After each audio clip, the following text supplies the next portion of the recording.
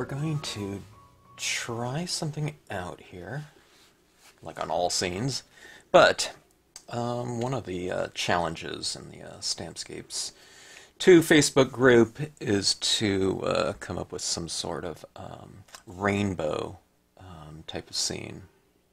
Alright, now, I haven't really tried too many of the, you know, standard arcing styles of uh, rainbows before. It's kind of hard to do that with dye-based inks. I mean, we can do it with like pens or something like that, and I saw some really cool um, uh, renditions of rainbows in various media, and uh, it got me to thinking that um, I think I could try something out using that kind of that flare type of thing, like we're entering a rainbow, kind of, you know, in, in real close-up, like a small section of it and uh, I thought I would try something like that out, or at least some sort of um, rendition of, I don't know, kind of a an abstract rainbow. All right, so one of the things about rainbows is it's colored light, okay, and that's one of the things that's it's hard to convey um, in this type of media is because when we apply these types of colors down there, if we don't make the background around it darker,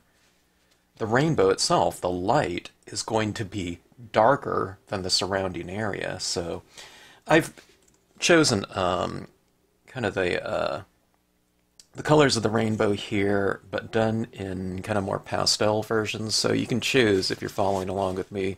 Kind of instead of going with a red, I thought maybe a pink okay, because it's like a lighter form of red. Instead of a darker green, it's this one, or a, like a really bright green, like, you know, like a yellow green that might stand out a little bit more. I don't know, we might add it in there. It might need something, so we'll see how it goes. I have this color right here, blue.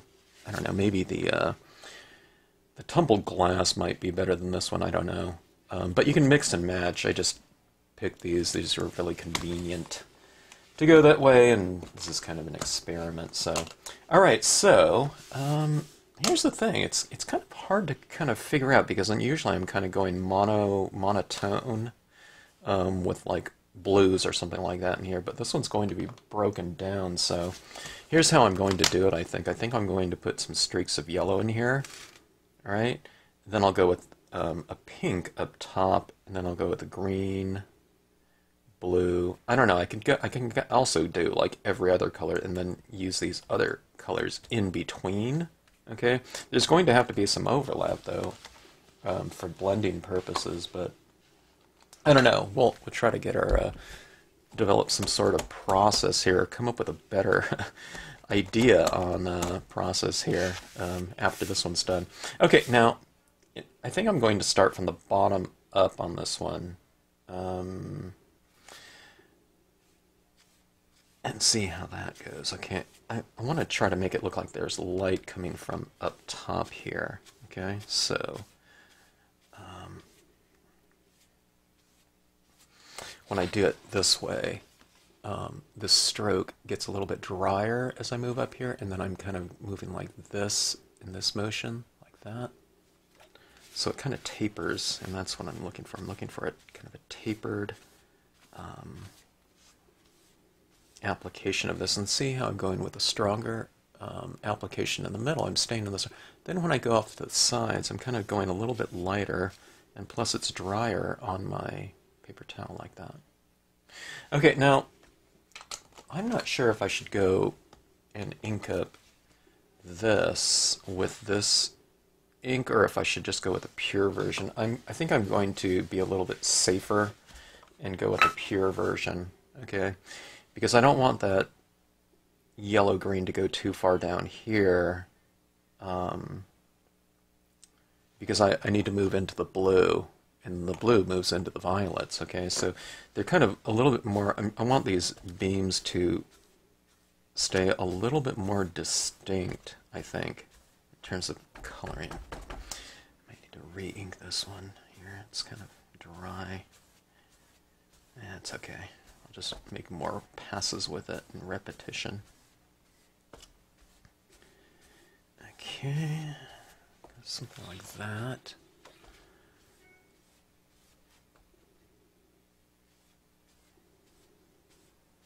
All right. I'm going to leave a little bit of a some streaks in between too for um, to represent um, light uh, within that space. I want to add in some light beams into it. All right, so see how I'm doing this on my paper towel like that. Just find another spot like this, and that'll be my you know next color. Let's go with the pink. Let's go with the pink up top here. Uh, Marvy sells these pads in um, blank pad form, and I need to get one for this one. This pad's really starting to uh, starting to collapse in terms of the material. That pad's probably 20 years old.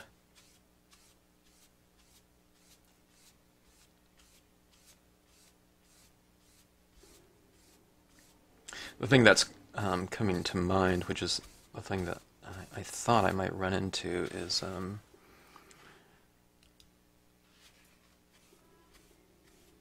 it's the uh, it's this real darkness right here. So I, I don't know. I'll, I'll try to figure out something. Okay, now where this pink is overlapping the yellow, we're getting that that red. I mean, uh, orangish tone right in there. See that? And that's what we want. We want this these combinations of colors to work for us, and that's also why you go with the uh, the lighter version, is because two lighter versions overlapped will make a darker version of the blend between those two colors. So I have to kind of keep that in mind. All right, let's see if I can find another spot on this. Still utilize the same one. Let's try the um, blue. This is a salvia blue.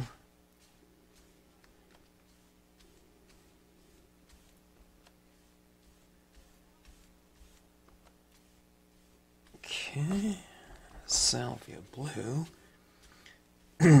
Plus the uh, yellow green here is making kind of a darker green in between the two of them. Okay, maybe I'll do like two streaks of this blue so that I'll still get this little streak of um, of light coming down like that. In the middle but then I'll have another another blue to blend with the uh, the violets down here. Okay. All right, let's go with this one. This is orchid. I'm so used to just using the same one. I'm not used to um, switching up on my uh, my paper towel areas for every color, you know. But this, in this case, it's every different color, and we need to keep those um, kind of discreet. Okay, that's a little bit too dark. Let's blot that off a little bit. Okay, let's overlap into that other blue there.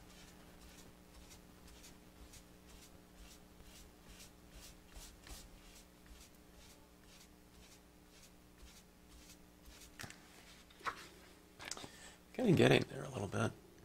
It's like we've entered a uh, entered a uh, rainbow. Okay, now this is a, a deep lilac, so just a kind of a darker violet, right? I think we're kind of getting there. I don't know. And I, I, plan on adding some imagery to this, so we'll have to see how that goes. I want to do this in a smaller format, but doing it large gives me a little bit more space and leeway. So I don't have to uh, kind of worry about like a tight, confined area to do it in with a, a quarter page standard card size. All right, so um, I think I can. I think I can add some brighter tones into this. Um, let's see.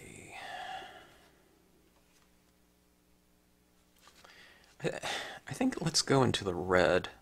Gosh, do I want to do that though? I'm taking a look at some photos online, but photograph is going to be quite different than um, um, trying to do it on a white piece of paper represented by inks. You know, we're talking about um, when you see a photograph, you know, we're talking about, um, you know, capturing light from a camera. On something like this, we're um, depicting light through the use of uh, contrast. So yeah, I'm going to have to make it darker somehow. I'm trying to figure it out. Okay, so if I go um, maybe with a little bit brighter red there, then I can come up here with purple. I, I don't know, I'm just thinking out loud. Okay, so, okay, so let's just go with the darker pink actually here. I think that'll be our solution. Sorry, I don't have this um, kind of resolved. Uh, like most of my videos, it's just kind of experimenting here. Okay, so let's go with this. Let's go like that. Keep it a little bit streakier right there. Okay, so let's kind of create um, a contrasting darker sky up here now. Now what I have coming next, you know, in terms of some clouds that I'm going to be putting in here, that's going to be really tricky in terms of, I don't know about tricky, it's, it, it's going to be a real question about what color do I make those. And uh, I don't know, I don't have, actually, actually have an answer for that. Uh, because it's just going against all those other tones. I, I have a feeling that blue will be the one, but I'm not sure. Okay, this is just that salvia blue used down there, and we'll use this as a base for um, uh, for some darker blues here. Okay. I don't think I want to go with too bright of a blue. Let's use a little bit more blue here.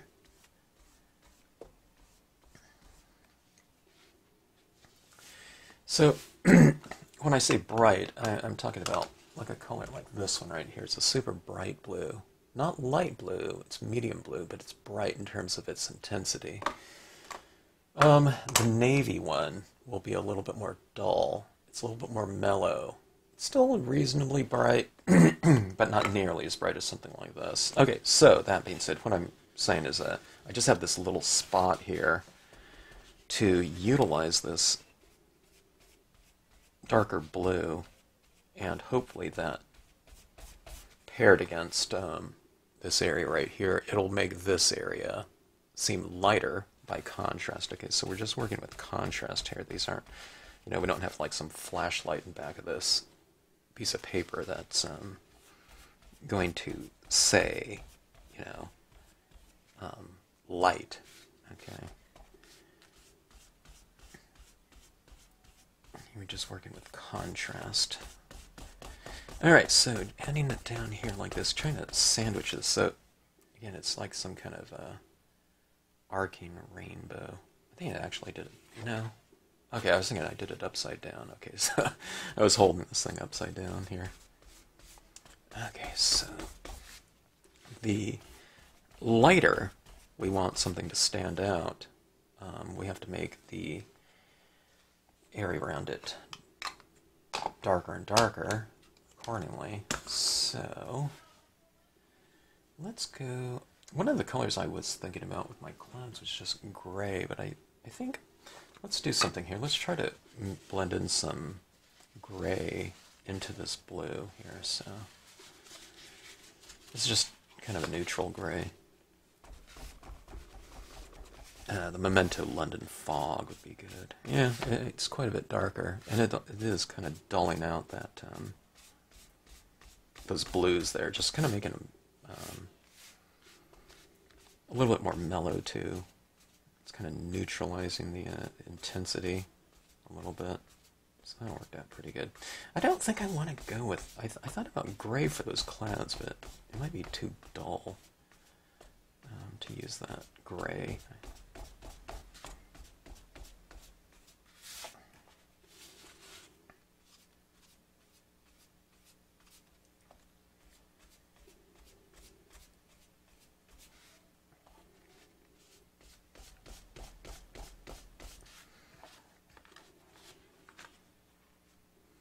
Okay, kind of coming down in perspective, like a rainbow or something like that.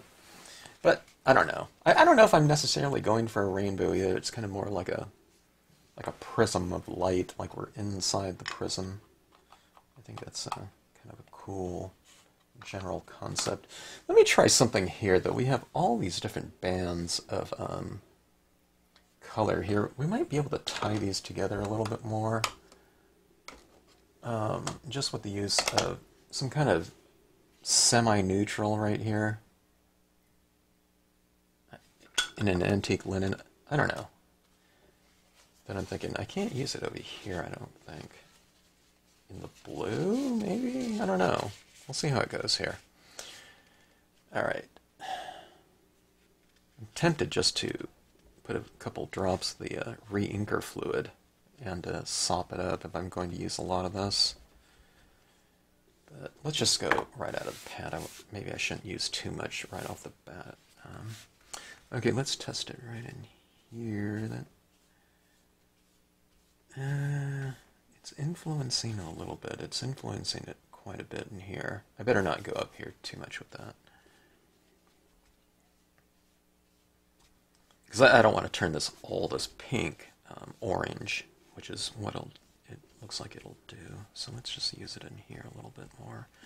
Kind of in this yellow area. Maybe it'll kind of look at take on a little bit of richer feel. See that right there? See the difference between that yellow and that one? So when you layer inks like that, um, you can get into kind of more sophisticated looking um, color schemes. That's one some people were asking about, or that's the comment I made to someone on uh, Facebook. I just said um, they said, "Hey, you know, their their pieces aren't going to look like mine, or whatever is good, or whatever." And I just said, "Hey, I mean, they could, but um, one of the common things is um, between the difference between my pieces and a lot of other pe- pieces by other people um, just simply the use of more ink I'll I'll put on instead of you know two layers there or whatever or three if you you know talk about the combination of one layer over another. Um, I just use more ink than other people. Um, more, you know beginners who haven't done it before. If people are kind of they have the concept down of um, all that blending, you know, and then it's the same. But if you just kind of use a little bit more color and tones, because these are like transparent um, colors. Okay, now see I just kind of added in that little green right there. So instead of just yellow and blue right there, and then they overlap and form a green, then you just throw another one in there, and that kind of makes that real subtle difference like that or this one down here with that antique linen. You just throw in one or you know another color or something like that, and all these little things like that are really small um, when you kind of isolate them in terms of like a single application. But when we're talking about overall, they all add up to this collective um, kind of resolved piece that is kind of exponentially more. Um, rich than not having those types of applications applied in there to your piece. So, um, so it's like little things, you know, make a big difference on the overall. In other words, I'm not doing any kind of real big techniques, really, in anything that I do. They're all kind of real subtle things, and then they all add up, and they're all super easy types of uh, applications too like right here, see this right here, it's a certain type of color or value, and I just go a little bit darker right here. So if you go a little bit darker right here, anything lighter than that just increases. So what you're doing is you're making something a little bit darker, and then the lights increase this way. Um, they don't get physically get lighter, but they look lighter. Um, in contrast.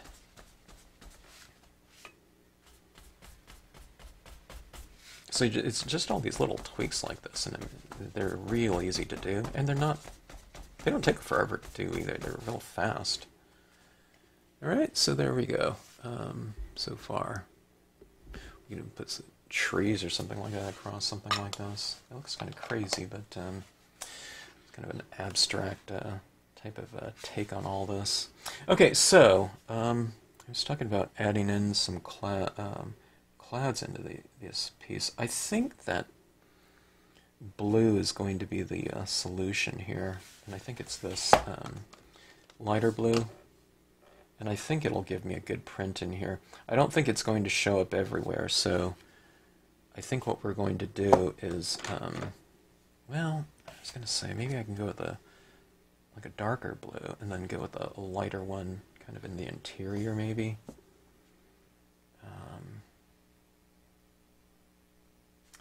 Yeah. I know I don't sound too assured. See this blue right here, I don't know if it's going to be dark enough to show up in here. It might, but I'm not sure. Let's just start off with this this lighter one right here. Okay, the salvia blue. Okay, cloud. I have this cloud stamp in a lot of different um, videos and instructional videos, but one of the things that you do on something like this, especially in such a light field right here, you know, that I'm stamping it into, I think I had some black on this. Alright, then this one. I normally don't even clean my stamps real well, but on this one I think I better. I think there's some... I think I used black on this one last. Yeah.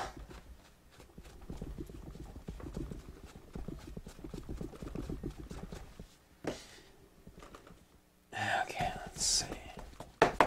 I just use water on my stamps.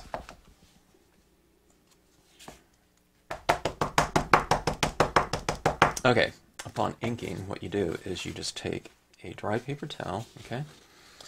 And if you want it to blend in really well, if it's going to be in a lighter area, if it's a nighttime type of thing and it's really dark, then you don't need to really wipe off. But I would suggest wiping off pretty good, about like a half inch into the into the uh, stamp. I'm not sure if I clean that off completely. Let me see. Better safe than sorry. Yeah, it's a little gray blue. There's a little bit of black still on there. Okay, so ink up. good half inch around the perimeter, get the perimeter really good, okay? So that, what, what I'm doing in here is I'm drying off the edge. It's wetter in the middle, a drier on the perimeter, so it'll give you a stronger impression on the inside, and it'll kind of um, dissipate the, um, the impression um,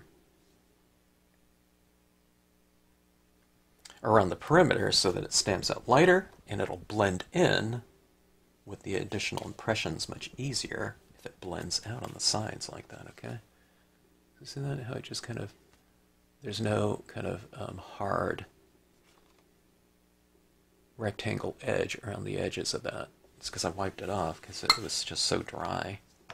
All right, so ink up, and it doesn't take a long time to do. This is a simple, easy process. You just ink up, wipe off, yeah, a couple seconds, and it's ready to go. I kind of change the angle slightly with each impression. Like that. See, it's like this. And the next one wasn't like exactly like that. I kind of changed the angle like that and height of it. So it gives it a little bit of variation.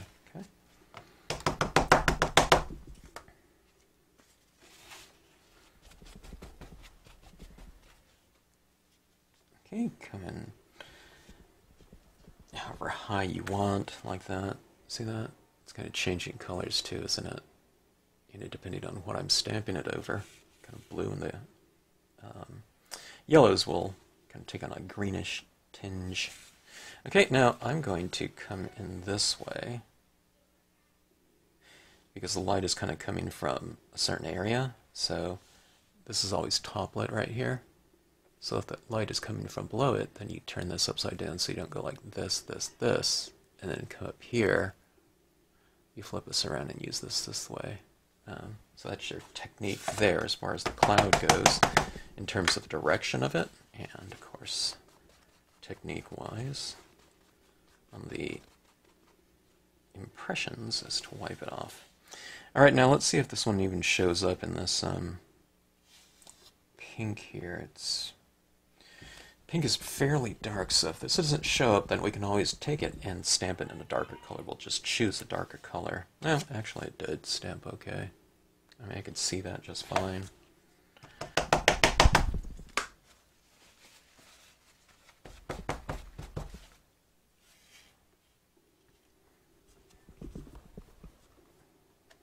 I don't know if it'll show up in the darker area. Yeah, it's not showing up down here at all, though.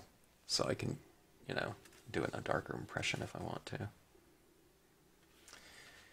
Um, hmm.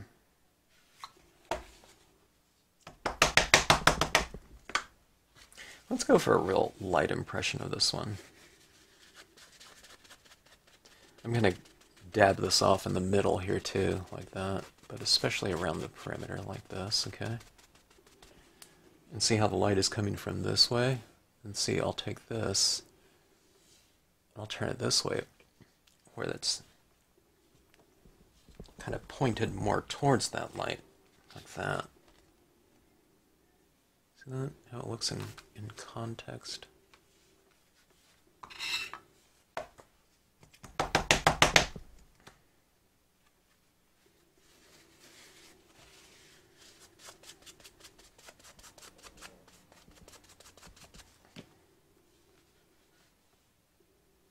Come up here a little bit more.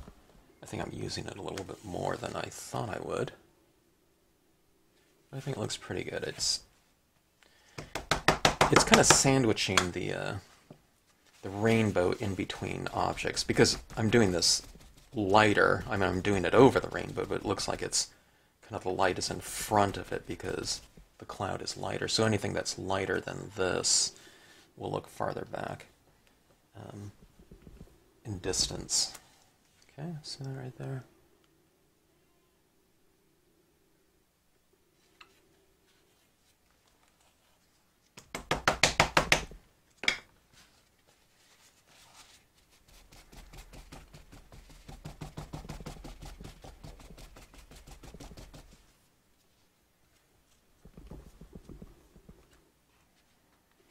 Okay.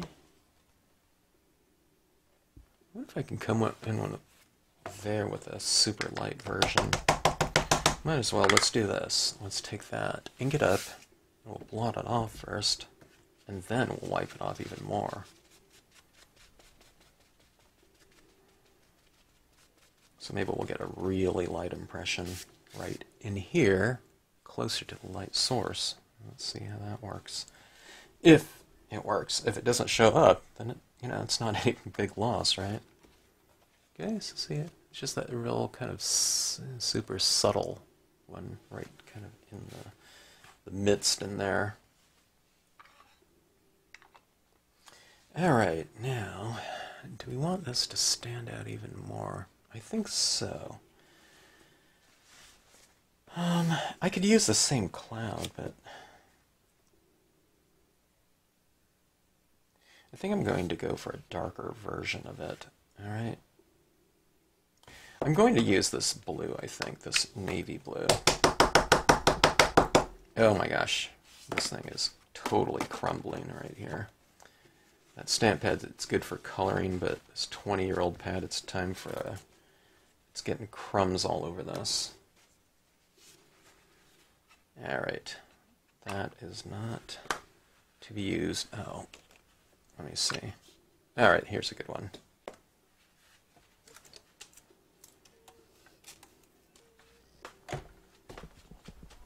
I use my pads until they just can't be used anymore.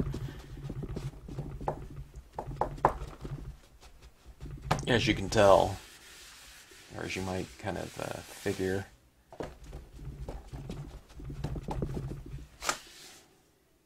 All right, there we go. I think.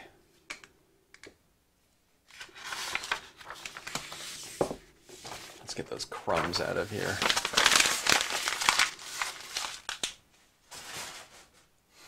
All right, let's see.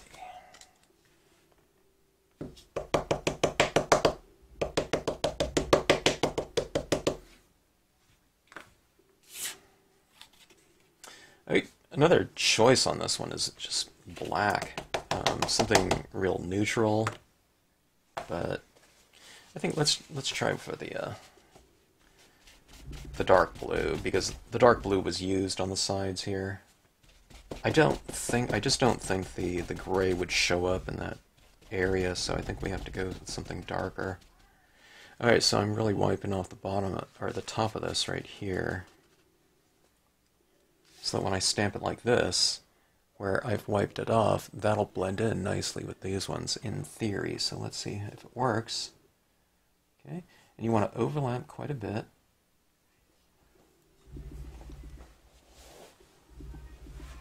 Large stamps, if you need to stand up to get a little leverage. Okay, so nice light, even pressure. You don't want to rock it or something like that. All right, so we got that. See that right there? How it kind of blends in. Okay. Now this one right here. You see those clouds? It'll be coming from this way. Up here, it went that way because it's being bottom lit up here, down here, top lit. Okay.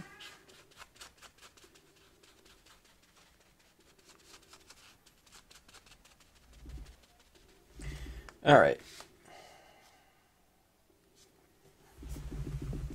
Overlapping, I don't know, maybe an inch into the, uh, the previous impressions.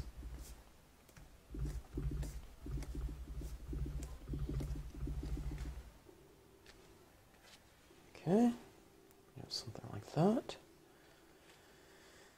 Huh.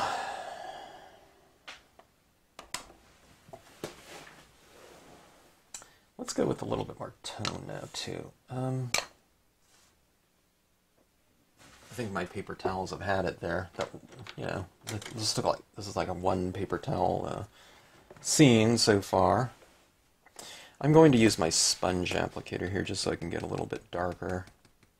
Know, something uh, absorbent holds more ink, so just, you know, I can apply it. I'm a little worried about kind of dragging in this direction right here because I don't want to smear my you know, freshly stamped cloud image. So you just kind of do a dabbing type of motion instead of streaking. Streaking might pull ink off. Okay, so...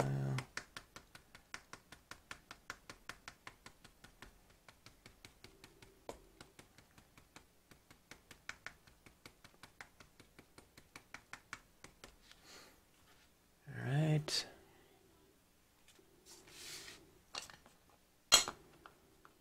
Let's go with black, too.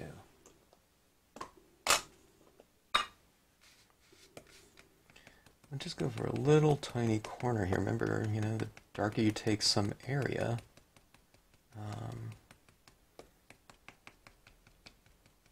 in terms of balance and uh, illusion, you have um, something darker, even even a small little area, the lighter everything else will seem. So I'm not adding dark to make my scene darker. I'm kind of adding dark to make my lights lighter. Um, from a uh, contrast uh, perspective.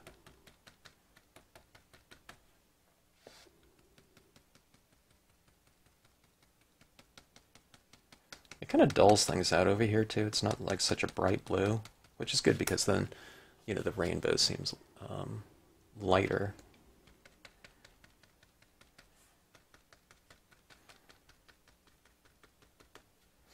I think I have a quote stamp that I'm going to use in here. I've been planning on it. I was thinking this is going to be somewhat sparse in terms of um, imagery. But I think this rainbow type of thing might um, lend itself nicely to um, some sort of quote. I'm going to see what I have here.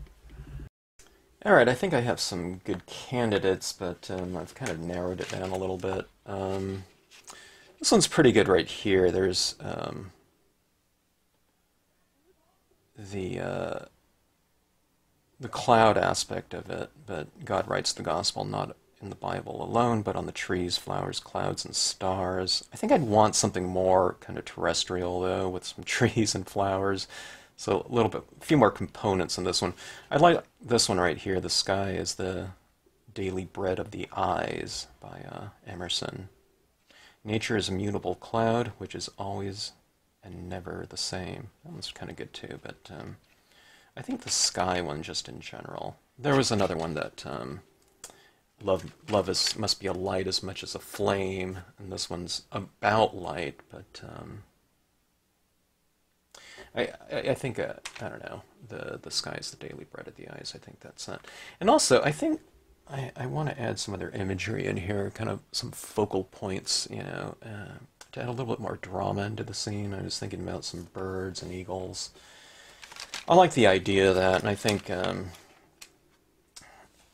that would fit in nicely with this um, light direction here.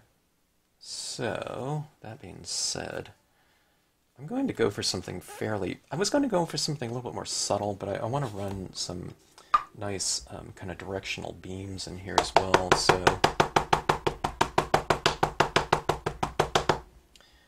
um, let's go for something fairly large here. I have this eagle right here. And I can have some beams kind of running behind it and in front of it. Um, some of these wings to really um, kind of add an element of uh, dimension into it, you know, um, beams in front, beams in back, maybe. We'll see how it goes. Um, but it can add a lot of uh, kind of depth in a, I don't know, I guess it's not really a subtle way, but um, certainly an easy way to do it. Okay, just doing this in black right here. Okay. And I can have a solitary one. A lot of times I'm going for two.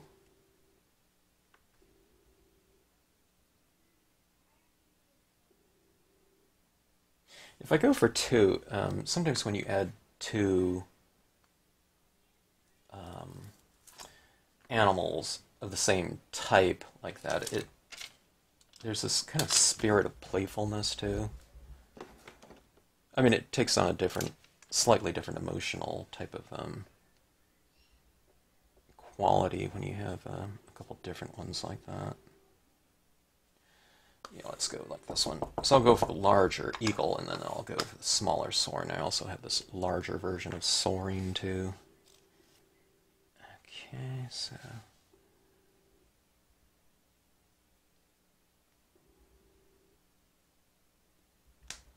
Right.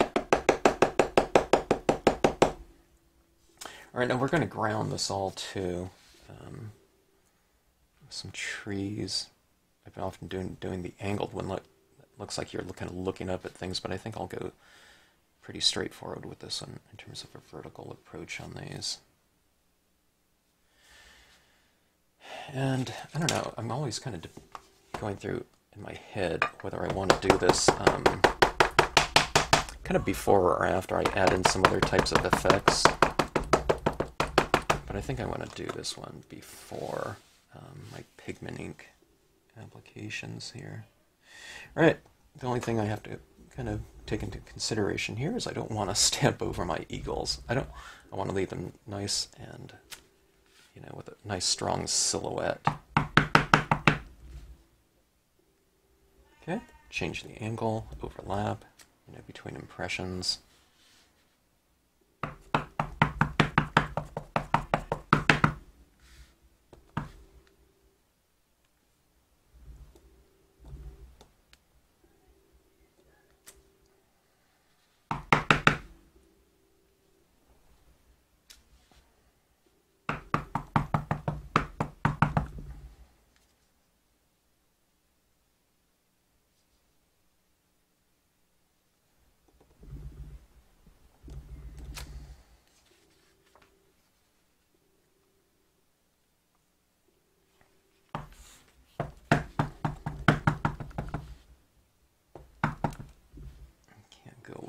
higher up on the side.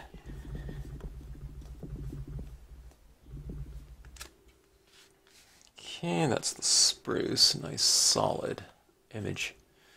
And you blend them together like that, overlap, and it won't look like the same image used over and over again because you've grouped it in some areas and have it a little bit spread apart in other areas. All right.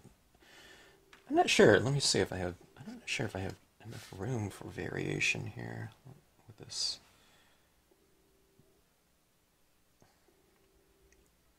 leafless pine stamp. Let's go for it.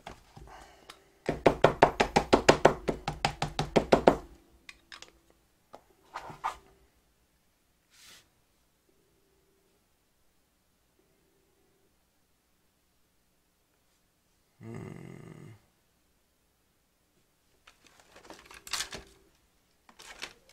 debating.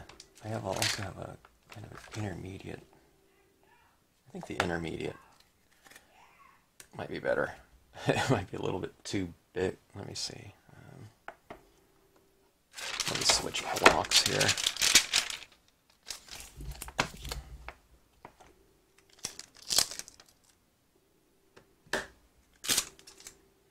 This is tack and peel on my blocks. For those who are new to these videos, I, I use um, tack and peel on uh, all of my acrylic blocks, and that holds my unmounted stamps for a temporary mount. Okay. Yeah, smaller one's a little bit less obtrusive. Sometimes you want the other one for, you know, kind of have a little bit more dominant. Yeah, this one works out great.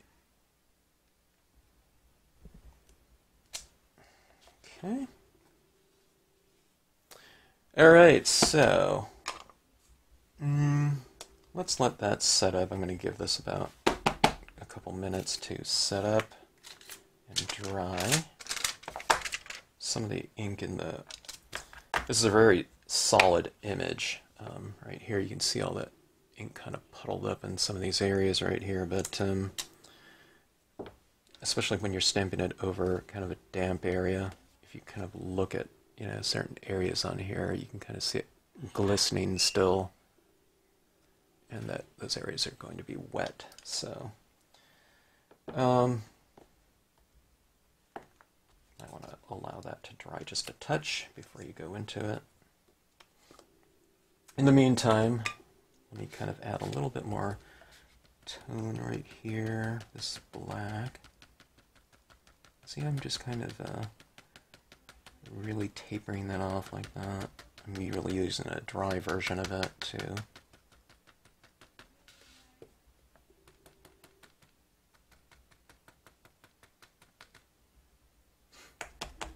Okay. That should do that. All right. I have my uh, my beam masking material right here. It's just a piece of uh, copy paper. And using a straight edge, I'll be able to add my beams of light in here. Yeah, you know, it's going along with the spirit of the rainbow um, in terms of direction.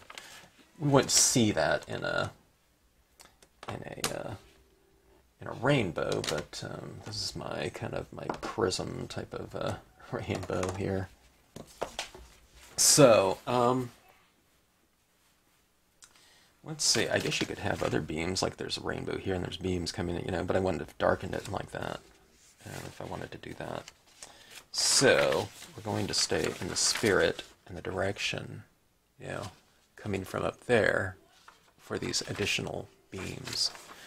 Okay, so, kind of stay in the, you know, in the direction that you've established, kind of going in that same direction. See, I, what I do is I'll take this top paper like this, and I'll kind of line it up. See how things are kind of going off in perspective like this?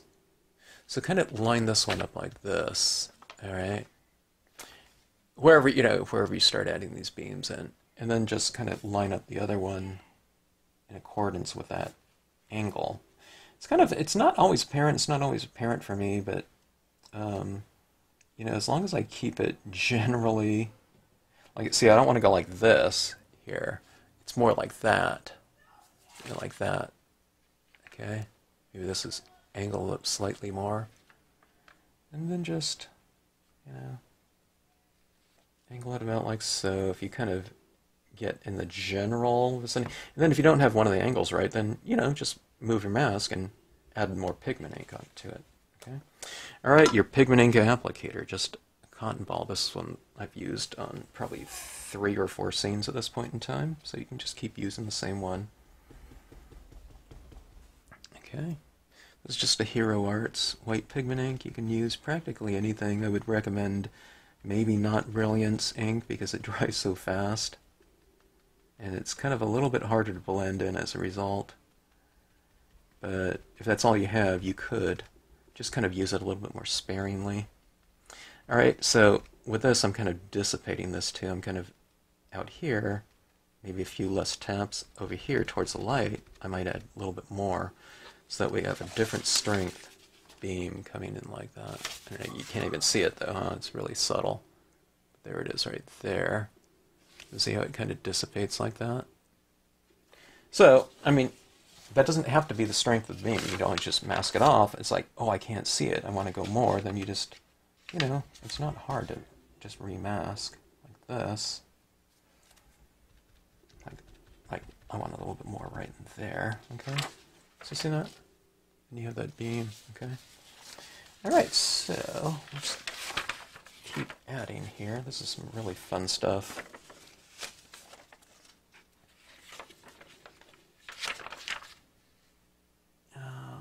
let's go here.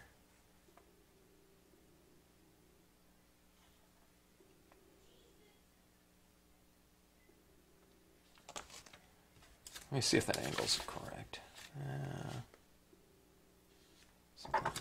yeah, let's go down a little bit more. And also, I can see my imagery now. kind of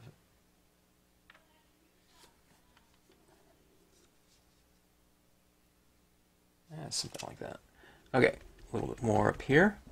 You won't be able to see the beam too much on white over yellow plus this white. It's translucent, it's not really opaque, so the colors underneath will show through. Which is what you want. You kind of want it to harmonize a little bit more unless you're going for something really super bold and graphic and you want, you know, the, uh, the beam to be super light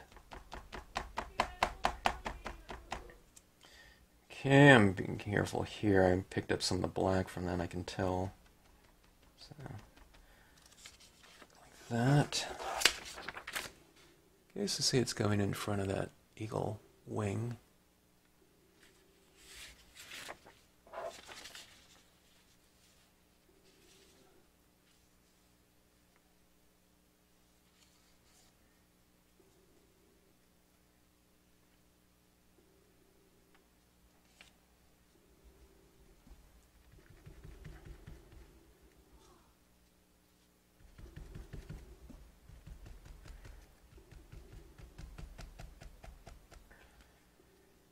Okay, do I want to go...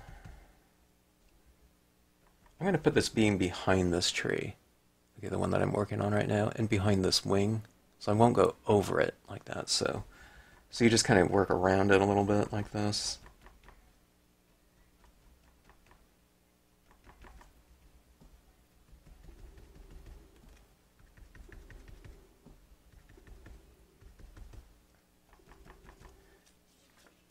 Okay, like this.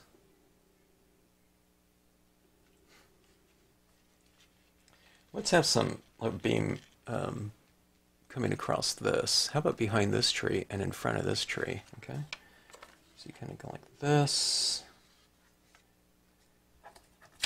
Angle's getting a little bit steeper, kind of as I move down here. All right, now see how white this is right here. That's you know this isn't going to show up at all over there. So, okay, so behind this tree and in front of this one.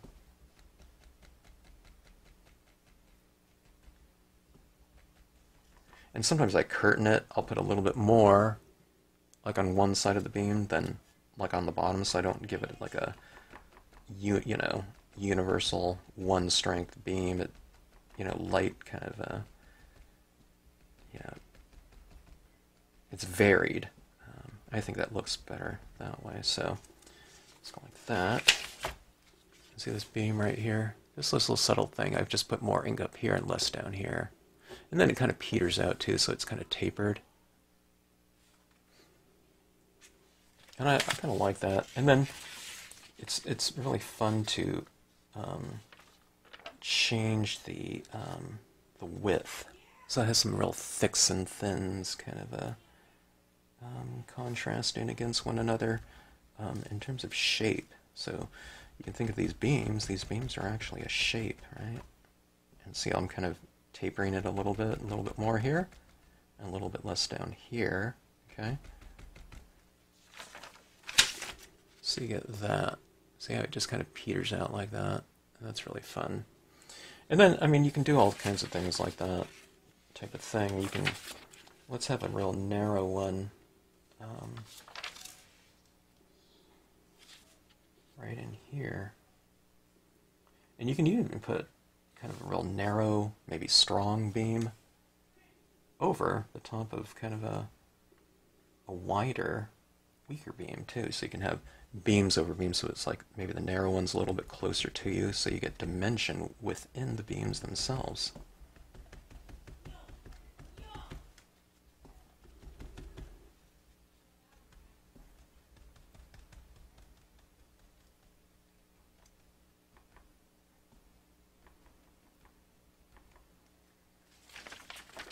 Okay, so see that one coming across like that. How it's lighter than that one.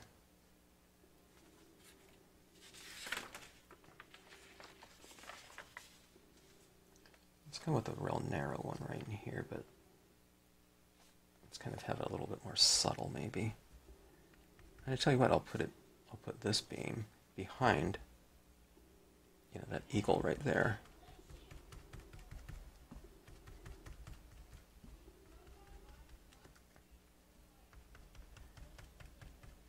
Have it behind that eagle, but in front of this tree.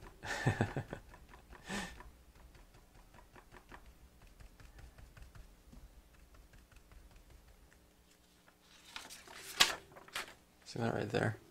Light beam goes in back of that one and in front of this one.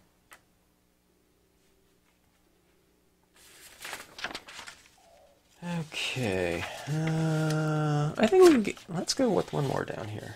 I like this kind of this narrow looking beam right in here.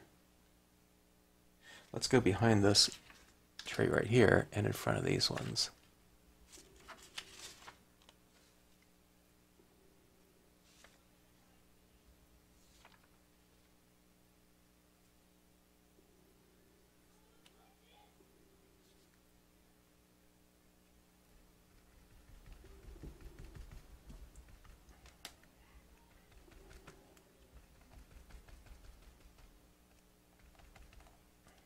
Okay, something like that there. All right.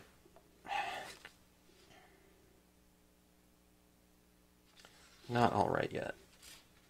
Let, I like that the stronger beams, and let's let's do this one with a kind of a, stronger beam within this narrow one right here, or it could represent I don't know it might represent um, something in front of it or something like that.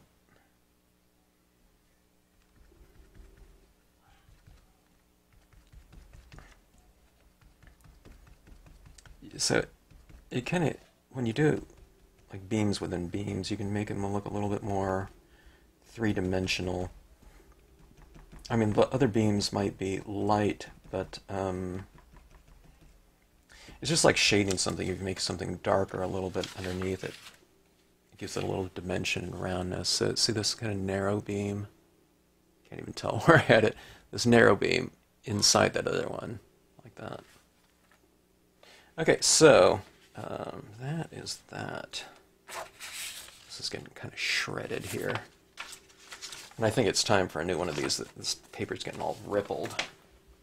I think that has gotten enough usage there. Okay, now what I'm going to do is I'm going to add more light up here where the uh, light is emanating from. Just kind of bringing it out like this a little bit more it kind of unifies the uh, the beams a touch.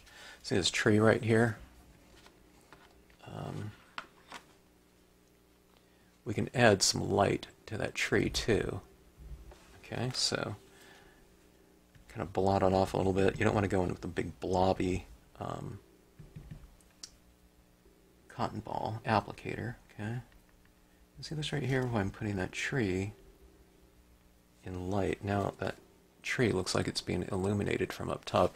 And see that we can do the same thing for these, all these other trees too. As long as it's not too dark behind them, you can kind of lighten them up like this. And it looks like they're being influenced by that light within the piece. See that right there? kind of gives it a little bit of softness as well. Um, I think it looks good with or without. You can also have it just, you know, a, a nice hard silhouette too, and that looks, you know, quite good against a, uh, you know, that that background in there too. looks a little bit more bold. This one kind of incorporates um, the imagery in a little bit more, as opposed to kind of having it set apart from it. Um, but both work either way. Okay. All right. Now, so this area in here too, I'm going to just bring some areas of light within this piece in a couple different areas. Just to oscillate things just a touch in here. I'm kind of putting some of this white on tops of some of these clouds. Um, there's a chance of it looking a little bit awkward, but when I build things up so slowly like this, it's like I'm never really making a big commitment to a certain color or application or texture. Um, it's just a really light version of it. And if I like it, then I add more. Okay?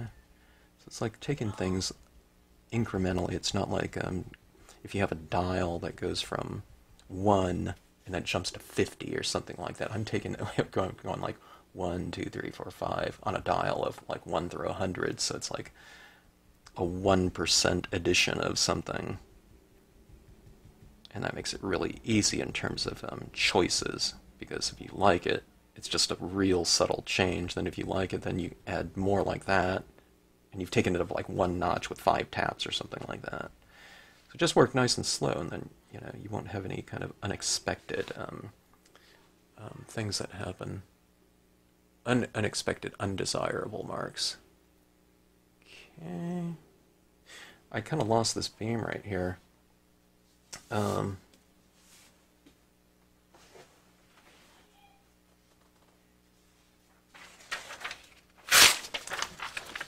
so, sometimes when you start putting things over things and masking, you kind of lose it a little bit. So, let's see. Easy enough to just redo. Okay. That. Okay. Really time for a new cotton ball.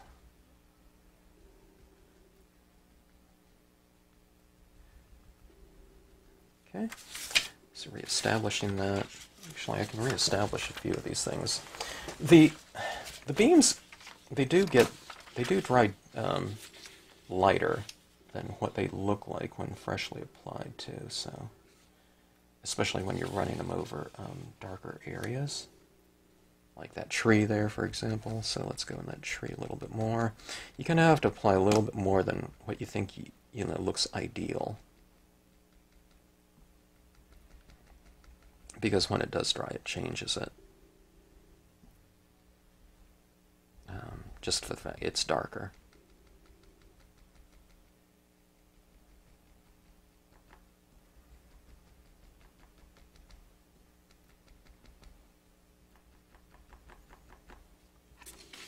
Okay, there we go.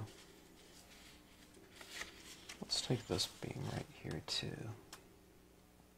It's a real narrow one.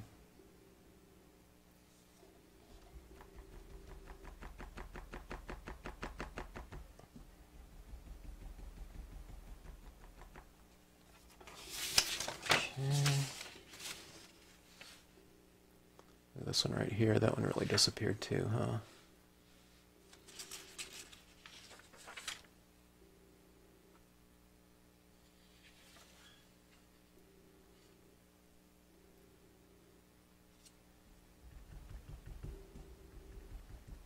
Better to always kind of have to reapply than uh, than to do something that you can't kind of undo or redo. There aren't too many things like that. You can usually redo something and change things around after the fact. But I just assume not have to do that. So, I call it under apply something. And then I just apply more accordingly. Okay, so there's that. Okay, so strengthening. Yeah, that one up there is super weak too, isn't it? A lot of adjustments here. uh, on, on the beams.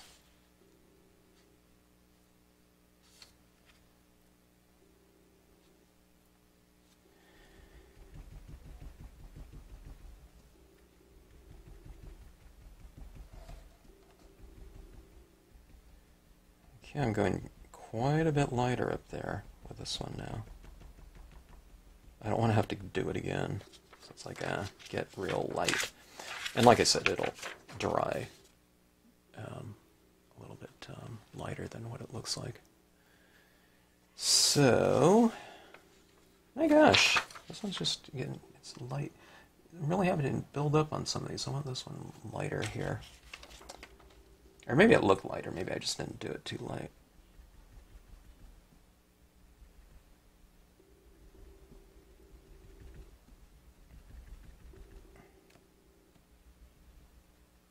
It's not. Uh, it's not trick uh, disappearing ink. it almost looks like it here a little bit. Okay, there we go. See that?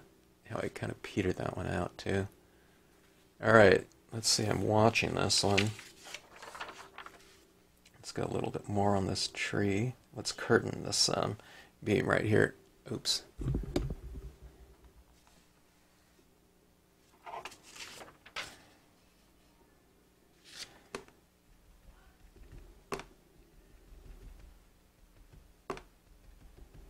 Let's put a lot more on the top part of it.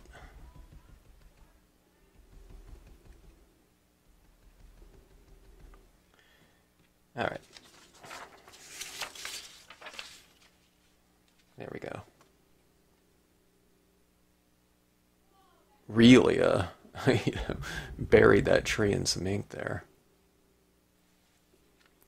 So there you have it. Um, in terms of that ink there, I don't think I need it here, but oh, I forgot to do that quote stamp. I will do it still. Um, I was going to put it in the beams. I just totally forgot of it. I was uh, so excited to get to those beams. Okay, so adding a few little highlights on the side of the trees facing the light.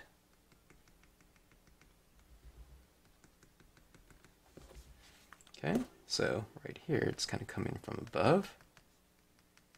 Over here the light is coming from the uh, left, so I kind of light some of those little branches and things like that on the left hand side for little subtle little kind of details and whatnot. And uh, let's see here.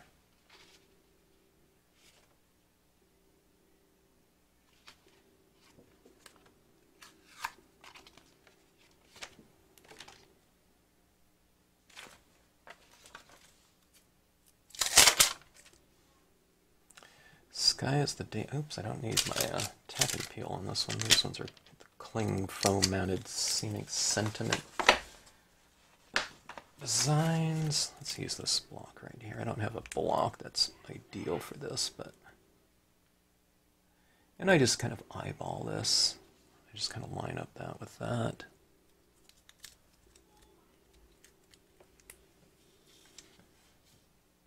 Hmm. I really need to clean off.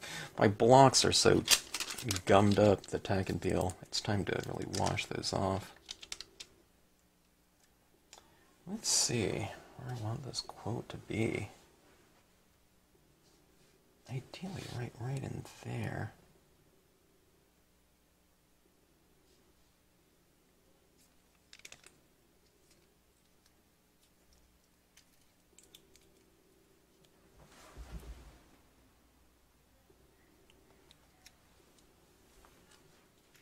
It's kind of hard to tell. There's so much um, stuff going on on there. Let's see.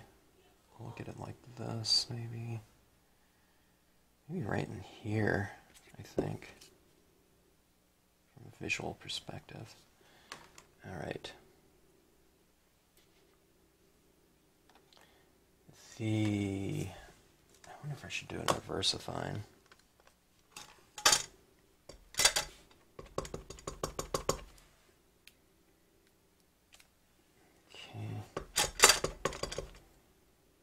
Practice runs here, making sure I'm getting my pressure right, especially with the block that's so much bigger than. Uh... All right.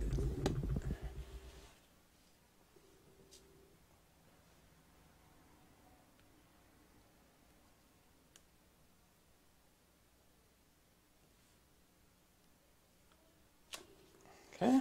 Sky's the daily bread. I was kind of holding my breath there, saying, I hope that comes out straight. That's how I usually stamp my quotes. I don't really line them up, you know, with a ruler and positioner and all that. I figure if it if it comes out a little sideways or something, I'm not going to really sweat it. And just, you know, do a couple of your test prints like that. It kind of gets you uh,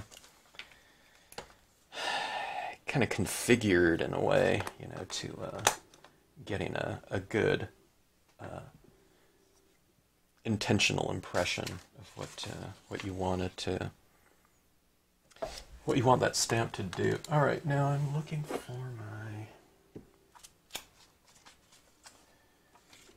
white bleed proof white and where's my toothbrush?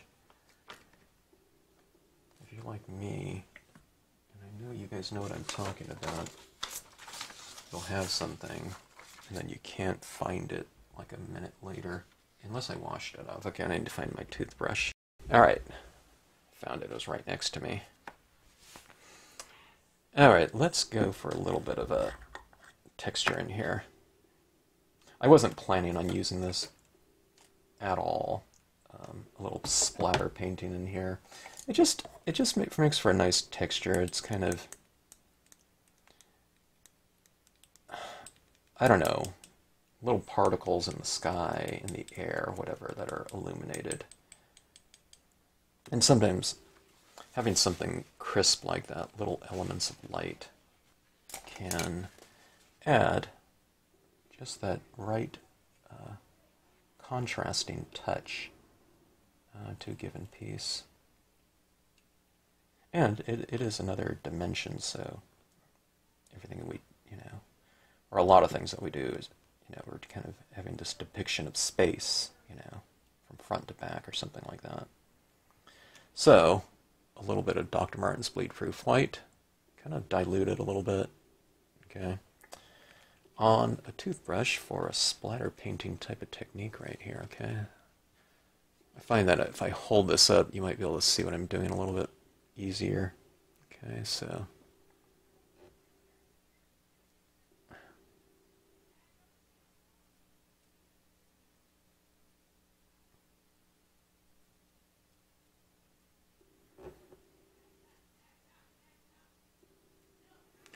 So I don't know if you can see it. See all the little speckles right in here? It's right here especially. In here you can't really see it because it's it's white on really light, but I'm going to put some up here.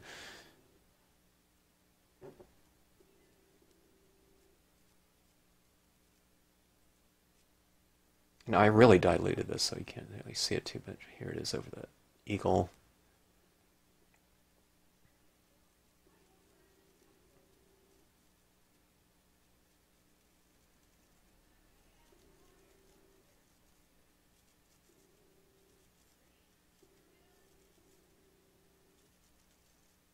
okay, there's nothing on my brush here. It was too diluted. I only got like one or two sprays. Okay, getting some more on here. And really draining the brush too before I go on to it. Um, okay. All right, let's watch it up here in the sky area.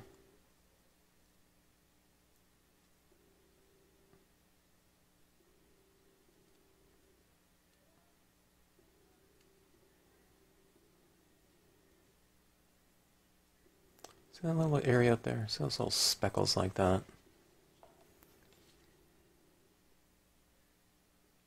It's just it's just kind of a fun little texture to to add to something. See it down here? It isn't it's a little bit richer in terms of a texture with that on there. I mean, it looks really great if it's uh, if you're doing a snow scene or something like that, or a nighttime sky with some stars too.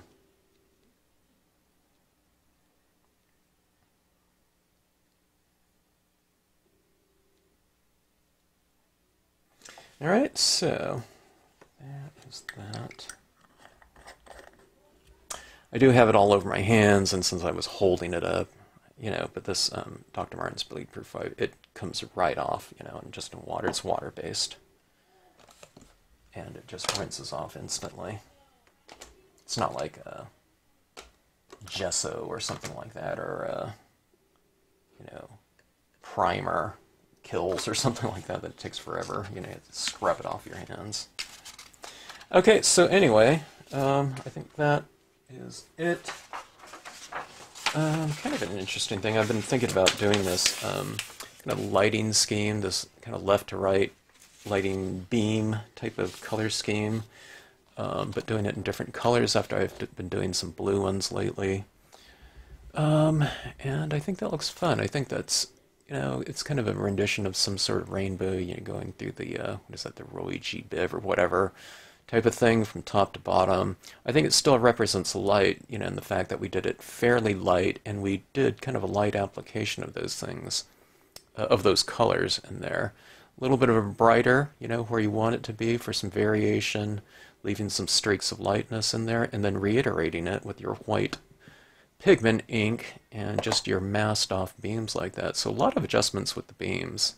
Um, and making them a little bit lighter here and there. See that one right there was really light, and as it's drying, it's setting up, it's getting um, kind of less contrasted um, against that tree. But that could be good in some ways. You know, it kind of mellows things out and kind of uh, blends things in a little bit, you know, touch more. But um, I don't know, it's fun. You can do this type of um, color scheme and whatnot, especially if it's on a quarter page scene. It's just happens really fast, and I mean, it looks really good. Like quotes look really good against it. It could even, you know, you can do this type of thing with you know some beams and things like that. You know, for birthday cards, happy birthday or something like that. You can have this kind of rainbow type of thing. And instead of just a rainbow pattern like that, it can represent light by incorporating the uh, the beams in with the negative space that you've allowed. You know, um, a lighter area to remain of the card. So in other words, instead of streaking like this everywhere, you kind of streak here, streak here, and leave a little bit of area light. And then if you want to, you can, you know, with that simple masking of the uh, pigment ink, you can layer another beam over the top of it so this area right in here looks more three-dimensional and, uh, you know, kind of deep. Okay, so anyways, I hope you enjoyed the scene. This is video number 500. I was going to do one with my son, but he's like totally busy right now. It's not really my 500th video, though. There's well over 500 videos. I mean, like in the Mood and Media series, I just did like 310 U, you know, and it starts at 310A, 310B, 310C, so on and so forth. But, um, anyways, kind of as far as a lesson number goes, this one's number 500 if you've been watching these videos, I appreciate the uh, you check uh, checking them out and taking a look. And if you have any suggestions on things you'd like to see, don't forget that you can always kind of drop me a note and you know make a suggestion or something or wish, and I'll try to get around to it. But always fun stuff. Thanks for uh, sticking with me here and through this scene. Uh, anyone that sits through a complete video deserves a medal uh, I believe. Um, I'm not giving them away, but uh, kind of in theory. so thanks for tuning in the channel, and uh, happy stamping there. get that quote down there like that.